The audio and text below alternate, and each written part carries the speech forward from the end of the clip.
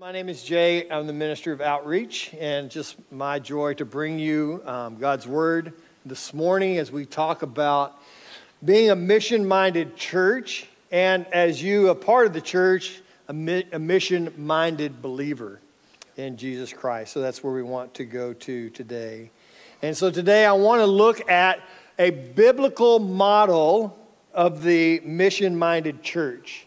Now, often when we talk about missions, we think of the Great Commission where Jesus said to go, therefore, make disciples of all the nations. We think of Acts 1 8, where Jesus told his disciples, You will be my witnesses in Jerusalem and in Judea and all Samaria and to um, the rest of the remote parts of the world. And outside of these verses, we really don't see commands on what it means to be mission minded. And I think that's because the church just did it. They didn't have commands to do it, they just did it, they just lived it out. So, to be mission minded, we don't go looking for these commands in Scripture, but rather we just look at what the early church did and then copy that.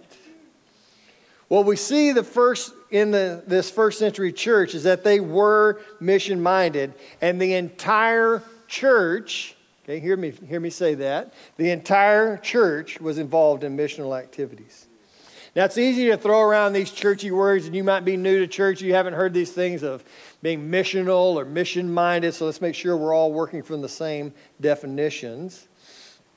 Missional here is used, as I use it today, as we talk about this today. Missional is both the church and the people in the church. Missional churches and missional Christians both recognize that God is a sending God. He sent his son into the world, and now he sends his church into the world. We send missionaries, but we also recognize that as believers in Christ, we too are missionaries who are sent out into our own worlds. As a church, we're missional in sending out missionaries, but equally as important as believers in Christ, we are missionaries sent out into our neighborhoods, our workplaces, and our schools. And as our culture becomes more and more postmodern, this becomes even more and more important. In the West, we have historically built churches to attract our culture to the church. We call this the attractional model of church planting. Today, however, this is not as effective, and the church has less and less attraction to our postmodern culture.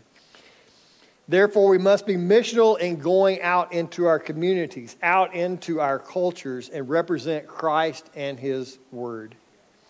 When we do this, we are missional and we join with God on His mission to restore and heal His creation and call His people into a reconciled relationship with Himself.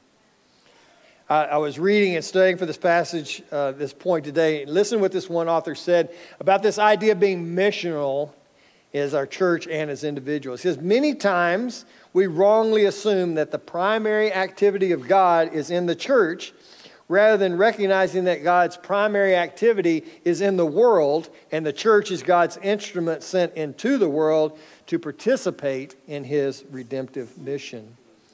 The key distinction, and I want you to hear this this morning, the key distinction clarifies the difference between a church with a missions program and a church that is a missional church.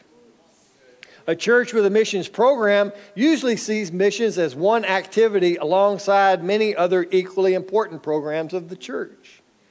A missional church, on the other hand, focuses all of its activities around its participation in God's agenda for the world.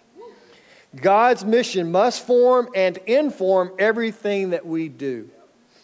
All activities of the church must be catalyzed by and organized around this mission of God. End quote.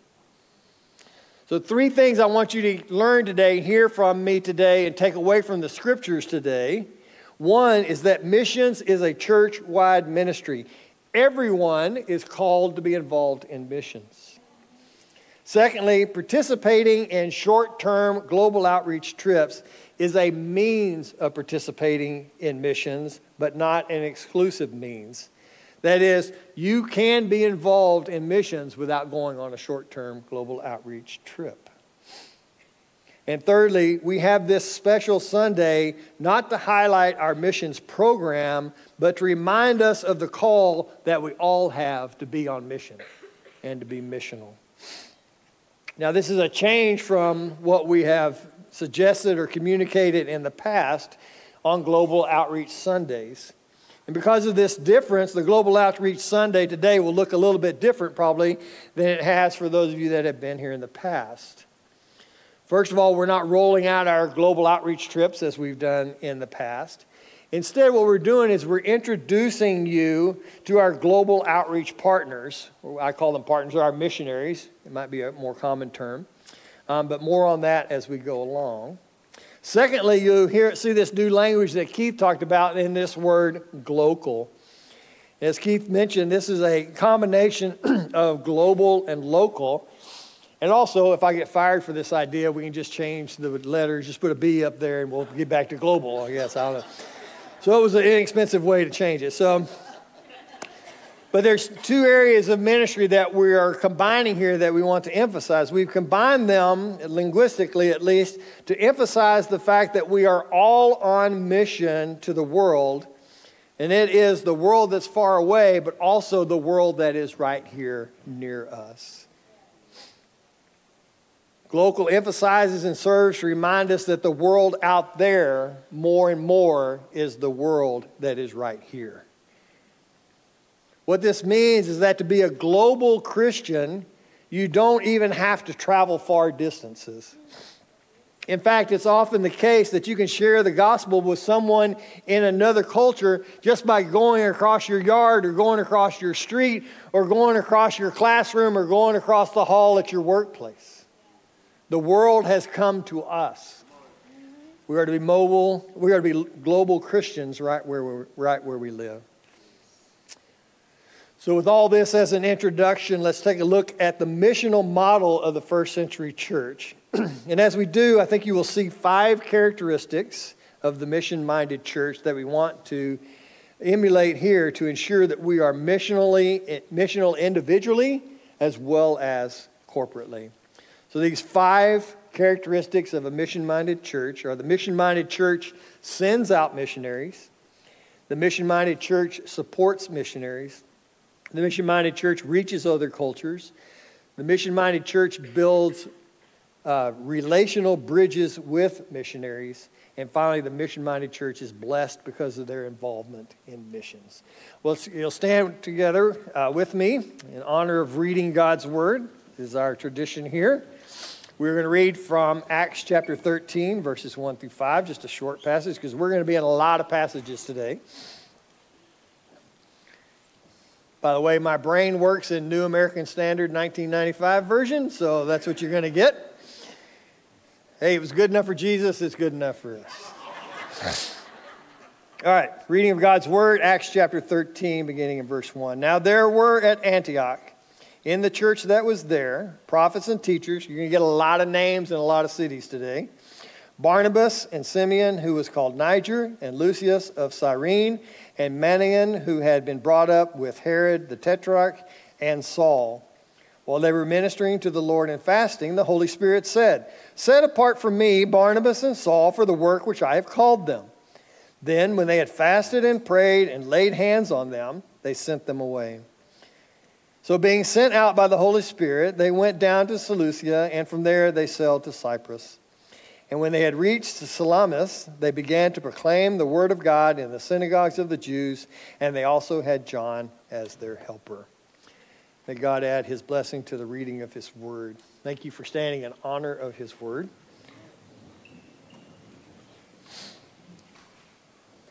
The first characteristic of a mission minded church is found in this Acts 13 passage. The mission minded church sends out missionaries. Three things to note here uh, quickly about uh, this sending activity.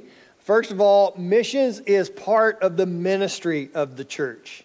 Verse 2, he says, while they were ministering and fasting. Missions was not some special program that the church came up with separate from the other ministries that they were doing. It was God's idea that he gave to the church while they were leading the church. Missions, again, is God's desire for the whole church, and it's part of their regular ministry. Secondly, uh, missions is covered by prayer and fasting from start to finish. So we see this here. The church was praying and fasting when they were told to send Paul and Barnabas in verse 2. And then they prayed and fasted again when they sent them out in verse 3. And this not only teaches us the significance and the importance of missions, but again, it also ties it together as part of the entire mission and the entire ministry of the church. It wasn't something separate. Thirdly, when the mission minded church sends missionaries, they send their best. We see in verse 1 the five leaders of the church that were there, and of these they sent Paul and uh, they sent Barnabas. You know, sometimes we have people in our churches that we love and, and we want to hold on to them. And like, well, these are special people. There, there were probably some people that were, you know, hey, hey, God, you know, hey, Holy Spirit, you know, Cyrene's a good guy. Can't we send him? But God said, no, I want these two. We have to be ready to send our best when God calls them to the mission field. The second characteristic of mission minded church is that the mission minded church supports missionaries. We're going to look at a couple ways that we support missionaries. First, we support missionaries financially. Keith already talked about this by giving, you know, when you give, right? We, we call you to tithe. We want to, as a church, be an example of that. So we tithe what you tithe, right? So 10% of what you give comes out of that gift, 7% goes to global outreach and 3% goes to our church planting efforts. Okay, so when you give, 7% of that is going to support our missionaries. And we support 19 missionaries um, currently, and we're always looking for more, and we keep adding them as we go. But Paul noted this in his church to Philippi. And he said this You have done well to share with me in my affliction. You yourselves also know, Philippians, that at the first preaching of the gospel, after I left Macedonia, no church shared with me in the matter of giving and receiving, but you alone. For even in Thessalonica, you sent a gift more than once for my needs. He tells the same thing to the church at Rome. Uh, and he says that, you know, that they had, he hopes to be helped by them along the way. Um, so many people, again, were, were supported and they were encouraged um, by their giving. And like he said, I just want to encourage you, you know, not only do your regular giving here, that knowing, knowing that that is going to support missionaries, but what, this is one of the ways you partner with, with our uh, missionaries and with our ministry partners is that you can give. You know, Keith mentioned he and Barry do that. Janet and I do this, where we're giving above and beyond our giving to the church goes to support those that are on the field and doing this work. And we see over and over and over how God calls us to that, but also, as we'll see here in a minute, the blessings that come from that. So the, mission minded church supports with finances, but also the mission minded church supports our, our missionaries with prayer. And always covering them with prayer. And this was Paul's regular request to the churches that sent him. And I know it's a regular request that we receive from our partners as well. Paul said this to the church at Ephesus. He said, With all prayer and petition, pray at all times in the Spirit, and with this in view, be on alert with all perseverance and petition for all the saints, and pray on my behalf, that utterance may be given to me in the opening of my mouth to make known with boldness the mystery of the gospel he told pretty much the same thing to the church at Colossae. To the church at uh, Thessalonica, he simply gave the command, Brethren, pray for us. And again, I can tell you story after story of being on the mission field or getting reports back from our missionaries that are on the mission field, the importance and their reliance on prayer. I think it's so easy, I think, especially in the West. Maybe I'm speaking for myself, maybe you guys don't have this problem of just relying on self. And there's so many resources that we have, and we say, well, we can figure it out. And then I get to the end of my rope, and then I go to pray. Well, when you're on the mission field, a lot of times you don't have a rope to be the end of. and it's so encouraging to see them just stop and pray, and then the blessing of seeing God answer those prayers. And I think of how many times I rob myself of that blessing because I don't go to God, I go to my rope. And it's such a blessing to see them. And, you know, like last week, I was with one of our missionary families in uh, Kansas City and just being able to sit and to pray with them, and what a blessing that was to have them pray with me and, and to pray for me, as well as praying with them for their needs as well. Such a, such a blessing, such an honor to be praying with them. And you can do the same.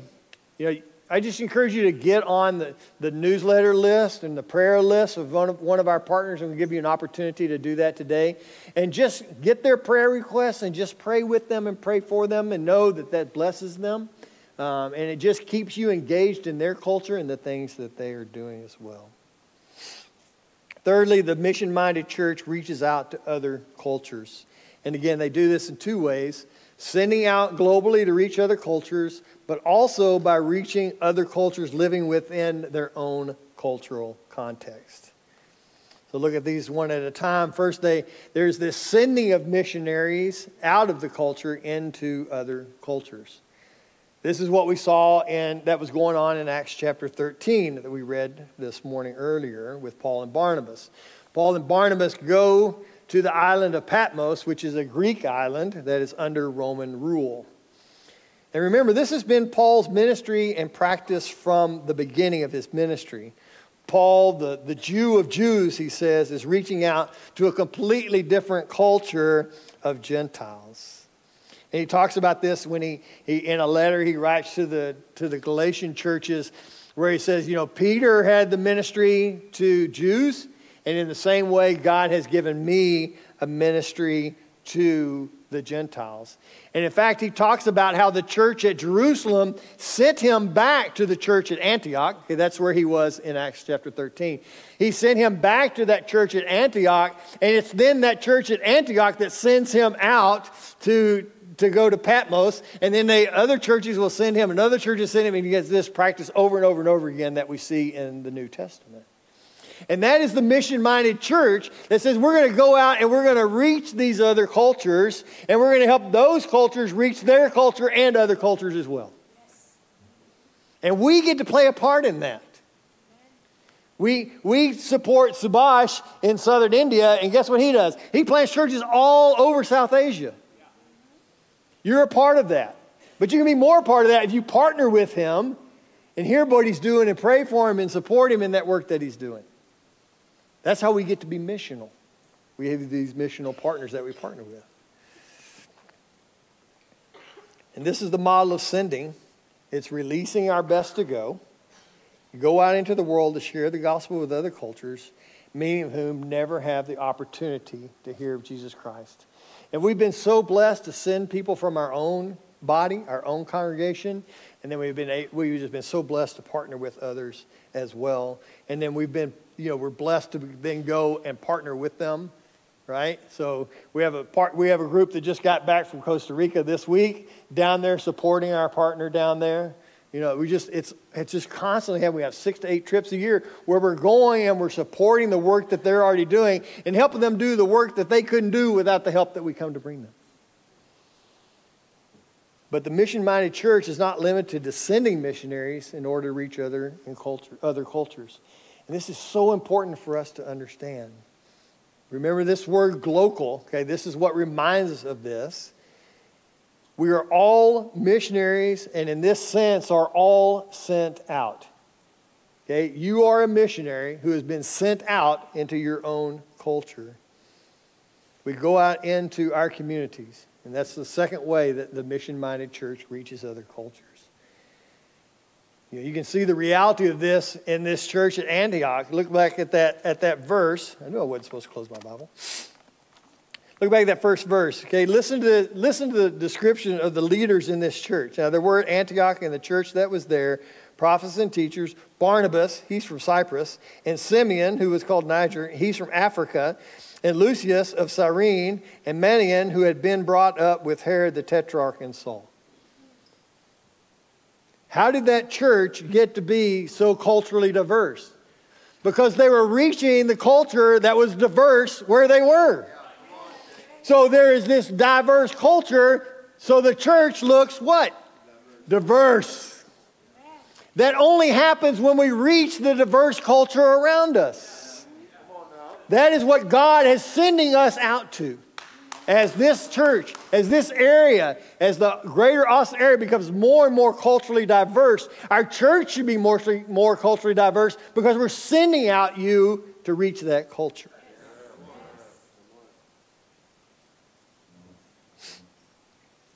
I cannot stress strongly enough the importance that this plays in proclaiming the gospel as a mission minded church. There's so many similarities between first century Antioch and the greater Austin area today. Let me show you a, an illustration from Scripture. It's a negative illustration, but I, I think we can turn it positively and look at it positively. It's from Galatians chapter 2, maybe a familiar story to you. But when Cephas, okay, this is Peter, who was a Jew, when he came to Antioch, Paul says, I opposed him to his face because he stood condemned. For prior to coming of certain men from James. Okay, James is from the church at Jerusalem, so he's bringing a group of Jews from the Jerusalem church. So, for, for, uh, for prior to the coming of certain men from James, Peter used to eat with the Gentiles. But when the Jews came, he began to withdraw and hold himself aloof, fearing the party of the circumcision. That's the Jews. And the rest of the Jews joined him in his hypocrisy, with the result that even Barnabas was carried away by their hypocrisy. Now, listen to this next verse very carefully. But when I saw that they were not straightforward about the truth of the gospel, I said to Cephas in the presence of all, If you, being a Jew, live like Gentiles and not like Jews, how is it that you compel the Gentiles to live like Jews? Okay, go back to that sentence. But when I saw that they were not straightforward about the gospel, what is Paul saying here? Paul is saying that Peter's lack of cultural sens- sensitivity had an adverse effect on the gospel. Put positively, the more we know about other cultures, the more sensitive, to, more sensitive we are to cultural differences, and the clearer and more effective our gospel presentation, and the less likely we are to turn someone off to or against the gospel. So when we learn about other cultures, we more effectively reach other cultures. And this is why being missional personally is so important. And how do you get to know these other cultures? How do I know the cultures that I want to reach into? I grew up in North Texas, spent a bunch of time in California, got back as soon as I could. But my experience has been around a bunch of other American people. I've been in Western culture all my life, saturated in it, right? So, how am I supposed to reach these other cultures that I know nothing about. You know, I've read books on, on, on Islamic faith, I've been in some Islamic countries, but I'm telling you, I learned more about Islamic culture when I had a three hour meal with an imam and his family and we talked theology. I've learned more about the Islamic faith by being with our partners that reach into those communities.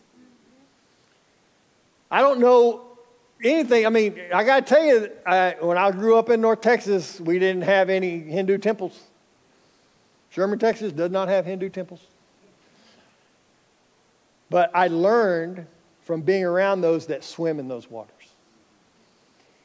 And when I swam in those waters with them, then I began to learn more about that culture and more about how to reach that culture with the gospel.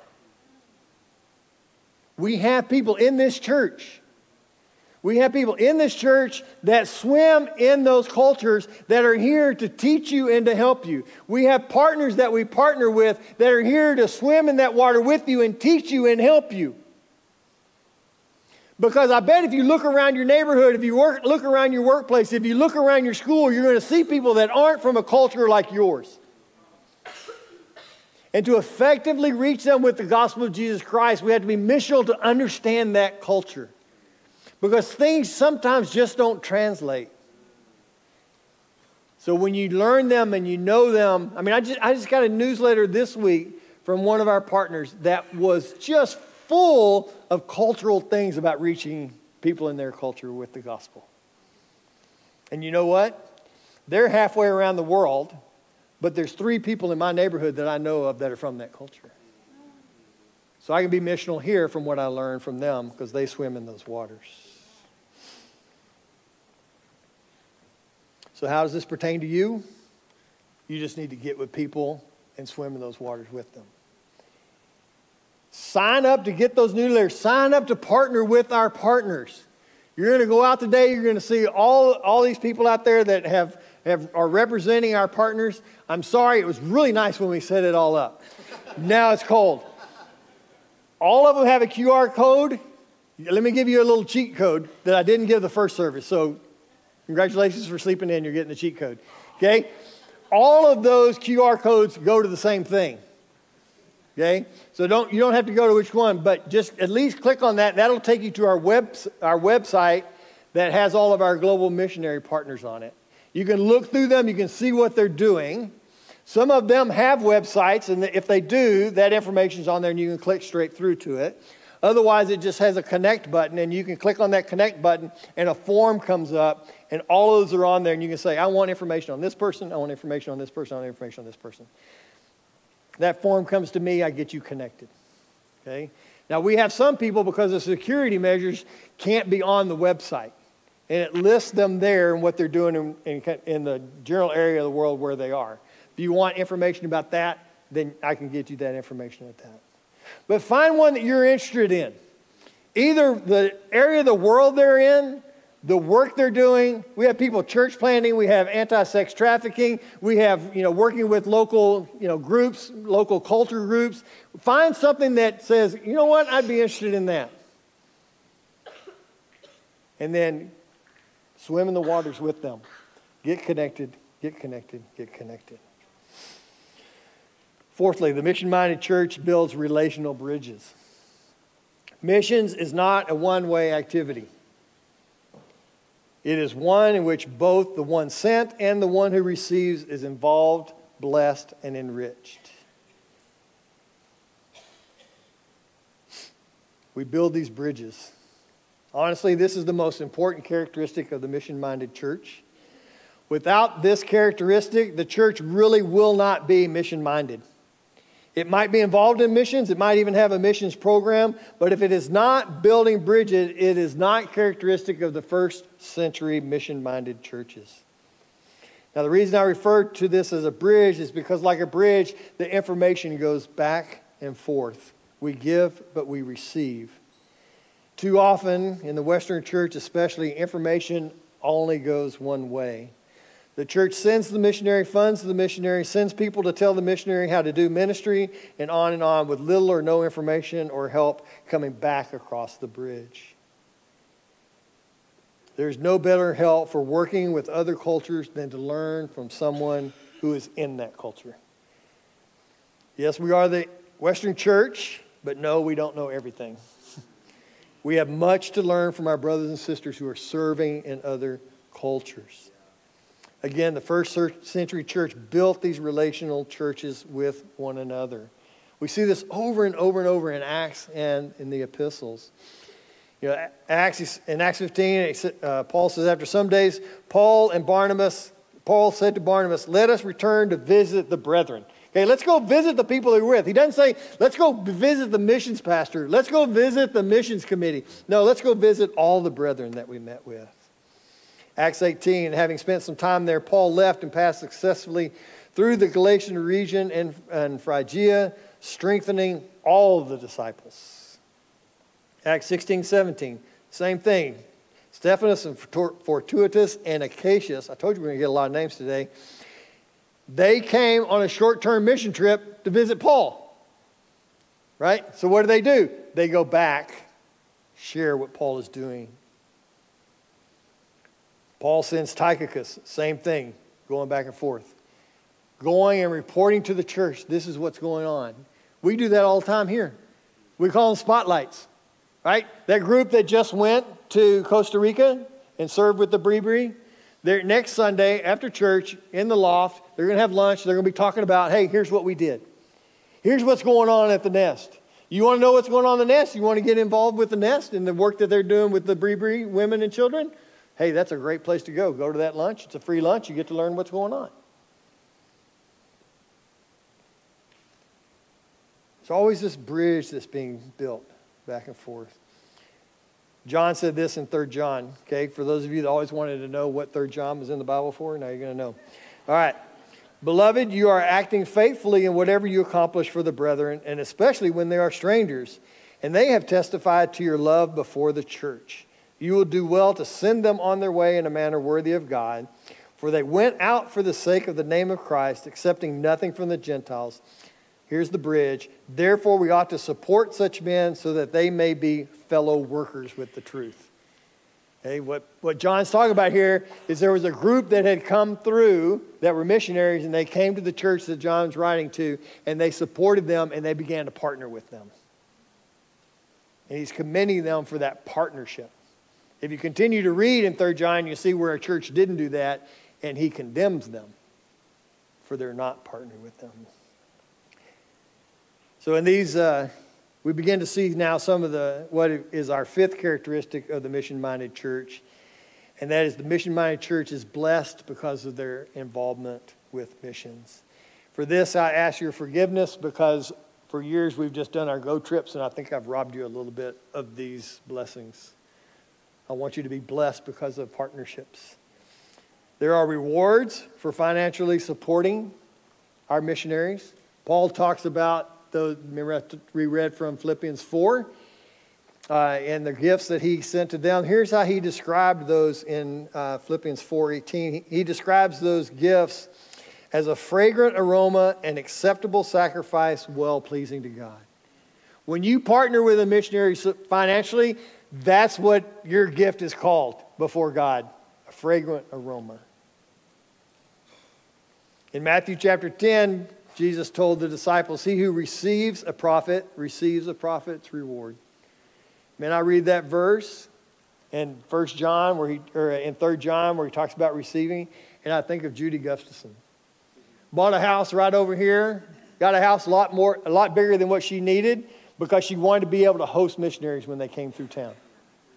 And the way that she has hosted and opened her home, and so many of our missionaries have stayed there and been blessed there, and she's going to receive the reward of a prophet because she's received a prophet. You can do that too. Paul told the church at Rome, he said, Whenever I go to Spain, I hope to see you in passing. We read this before. And He says, Helped on my way there by you when I have first enjoyed your company. These are relational rewards. Listen to Acts chapter 20. This is Paul when he goes back through and he meets with the Ephesian elders. He says, When he had said these things, this Paul, he knelt down and prayed with them all, and they began to weep loudly and embraced Paul. This is why I travel way too much. Because I can't just send somebody because I want to see these people. I mean, believe me, you're welcome to go with me. I'd love for you to go with me, and we take a lot of people. But I go because of the relationships that are there. You can go in my office. I got everything from hats and pictures to bones of sheep that people have given me. There's a reason for the bones of sheep. That people have given me that are just mementos of my relationships that I have with them. Those are just some of the benefits that you have from being missional and from having these relationships with Him. Everyone involved is blessed because they're a part of mission minded churches. But let me warn you, the opposite of this is true as well. When you're not involved in missions, you rob yourself of so many blessings, rewards, and relationships.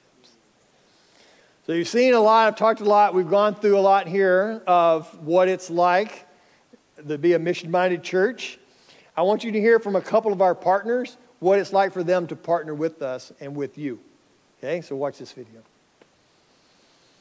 We are extremely grateful to CityView. Um, CityView was the second church that partnered with our ministry, and we couldn't be any um, any happier. So part of the benefits that CityView, um, the, the partnership with CityView has brought to the nest is like you know, as you can see, we actually were able to build a second house for our children. This house uh, could house up to eight kids. Uh, not only that, but there's one um, for Christmas. We have been able to celebrate the birth of Jesus.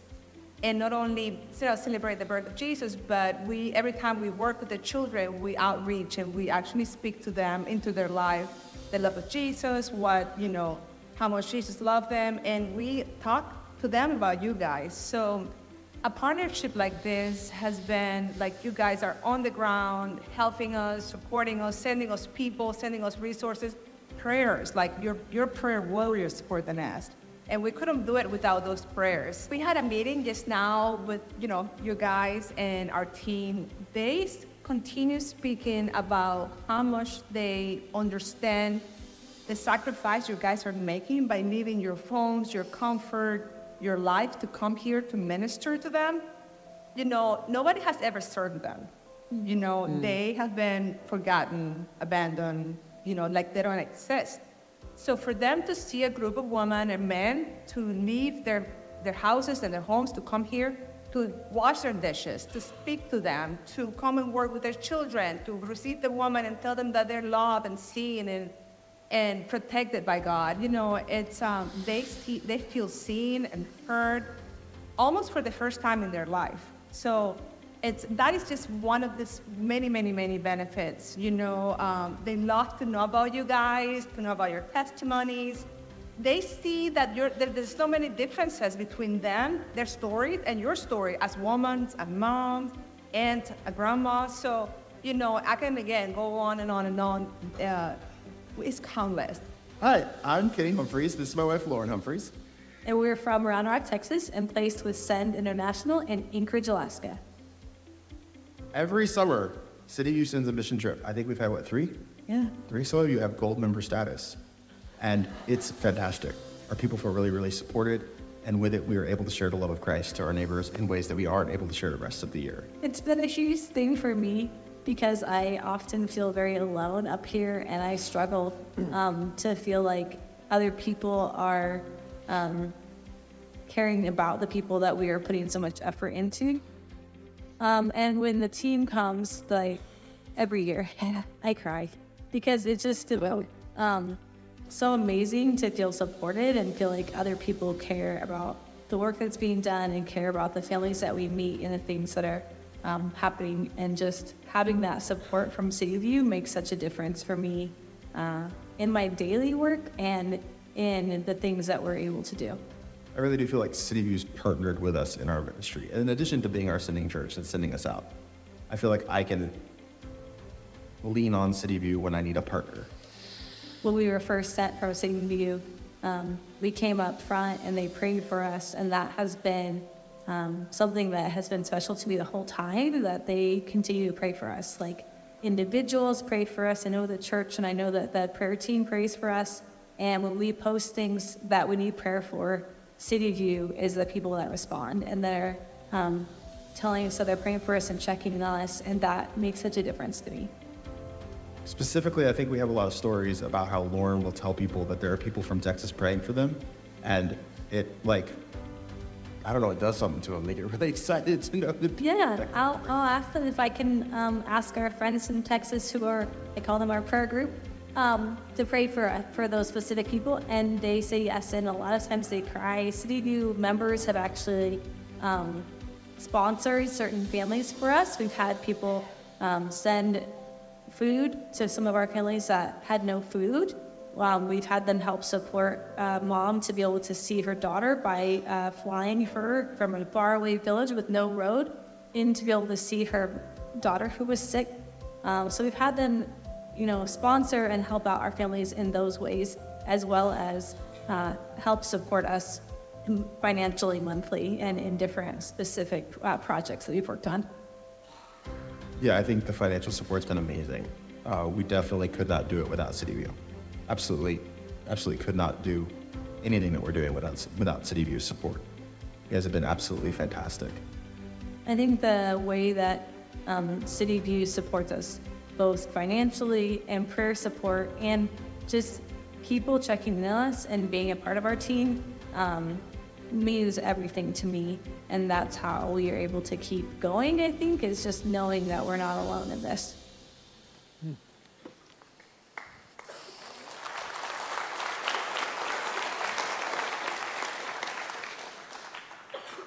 Amazingly enough, I wrote the sermon before I heard that video. But yet, you guys have done such a good job that they're able to testify to what you're doing, just like we read in so many of these passages today. But not all of us. And that's where I, I really want to encourage you do not leave today without taking that picture of that QR code and partnering with one of our ministry partners.